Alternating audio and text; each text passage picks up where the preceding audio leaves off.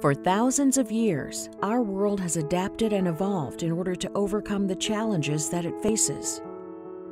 Now, more than ever, the rapid pace of change is pushing societies and the natural world's ability to cope. EDF Renewables recognizes that the need for change affects our everyday lives. We're also aware of the need to support nature as it struggles to keep pace with these rapid changes. Our On Prairie solar project incorporates milkweed for monarch butterfly habitat. The vegetation under the panels creates space for pollinators to thrive, producing 300 jars of honey per year. The site also supports the grazing requirements of the 300 sheep that are on site from spring until fall. We are creating spaces that generate electricity for the region while integrating biodiversity and agriculture without compromising our neighbors' way of life. This is the vision we want to replicate on our solar sites in New York.